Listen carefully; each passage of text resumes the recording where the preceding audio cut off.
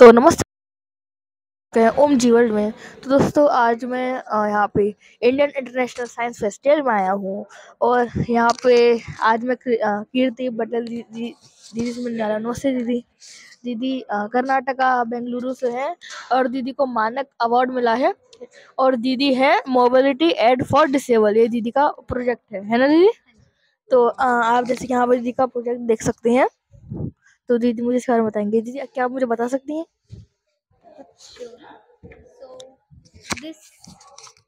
तो ये प्रोजेक्ट उनके लिए है, जिनको डिसऑर्डर्स होते हैं, जैसे पीपीआरपी मस्कुलर डिस्टर्बी पैराप्लेगिया उनमें क्या होता है, उनके मसल्स में इतनी स्ट्रेंथ नहीं होती।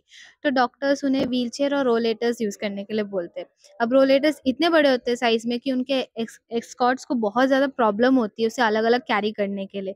उस केस के लिए मैंने एक रोलेटर को ऐसे न्यूली डिज़ाइन किया है जो व्हीलचेयर के साथ मर्ज हो जाता है। जैसे यहाँ पे मर्ज हो गया है तो ये व्हीलचेयर के साथ मर्ज होने पे सिंगल यूनिट बन जाता है। अब जब ये सिंगल यूनिट बना है तो उनके एस्कॉट्स को अलग अलग इसे कैरी नहीं करना पड़ेगा और उनका सारा फोकस बच्चे पे रहेगा instead of you know handling the wheel chair और क्या आप पर बैठ के दिखा सकती हैं? Sure. अच्छा।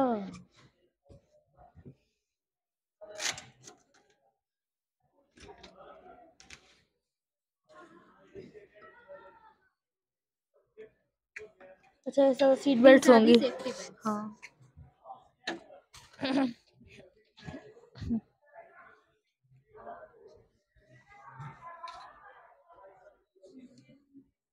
ये सब क्या? बताती हूँ। तो मैंने यहाँ सारी सेफ्टी बेल्ट लगा ली। ये ब्रेक्स है। हम्म, अच्छा ब्रेक ब्रेक्स है। मतलब अगर कहीं स्लांट प्लेस पे रोकना हो इसको तो मैं ये दोनों ब्रेक ऐसे लगा दूँगी। उससे रुक जाएगा, आगे पीछे नहीं होगा।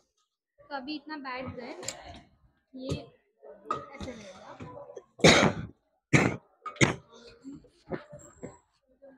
ऐसे लगा रहेगा ओके तो जब कहीं अगर फॉर एग्जांपल पेशेंट को जाना है अपनी वॉशरूम तक तो जब वो एक बार वॉशरूम के पास चला जाएगा, वहाँ जाके वो अपनी सेफ्टी बेल्ट को ओपन करेगा।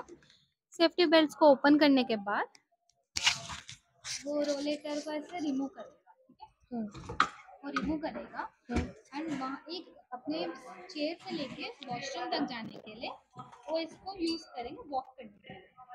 और एक बार एक्टिविटी फिनिश होने के बाद they'll come back they'll put it in and it move to the other place इसमें ब्रेक्स है जिससे जो भी चाइल्ड है आगे पीछे गिरेगा फोल्डेबल है जिससे अगर उन्हें कहीं ट्रांसपोर्ट करना है तो हम पूरा फोल्ड कर सकते हैं। और मैं ये कह रहा था जैसे कि अगर उसको पीछे चलाना है तो उसको चलाने के लिए हाथ लगाना पड़ेगा। या चलाने के लिए यूजुअली जैसे एक व्हीलचेयर चलती है ऐसे पुश करने से वो आगे चलती है। मैं बैठ सकता हूँ? हाँ। मैं पहली बार बैठा हूँ। ऐसे चलाएँगे? हाँ। तो यहाँ हाथ रखो इस पे इसको रिम बोलते हैं। या ये। हाँ इसको ऐसे चलाओ। ओके। चलाने नहीं है हाँ। हाँ कोई बात नहीं। चलाओ।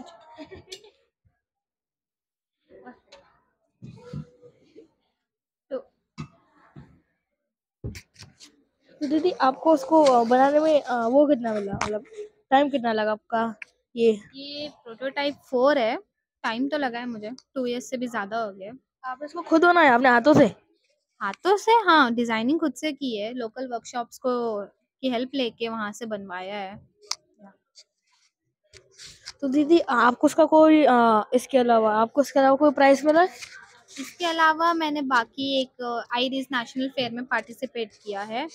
एंड बाकी जो फाइन है अभी जैसे आई है तो यहाँ पे मैंने अपने प्रोजेक्ट को एग्जिबिट किया और जैसे कि जैसे यहाँ पे बहुत सारे बच्चे हैं जिनको जापान में बुलाया जा रहा है तो क्या आपको बुलाया है?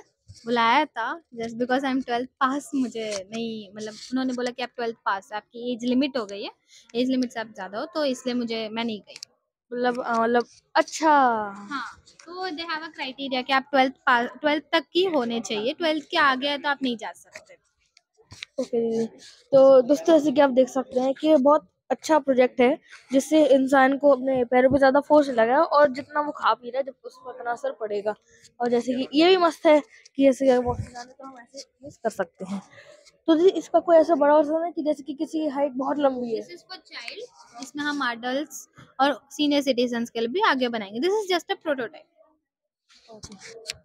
तो दोस्तों ये बहुत अच्छा एक प्रोडक्ट है जिसको आगे चल के जो चाइल्ड जो ऐसे बच्चे जिनकी टांग में थोड़ा दिक्कत है और जो बहुत ज़्यादा कमज़ोर होते हैं तो ये उनके लिए है।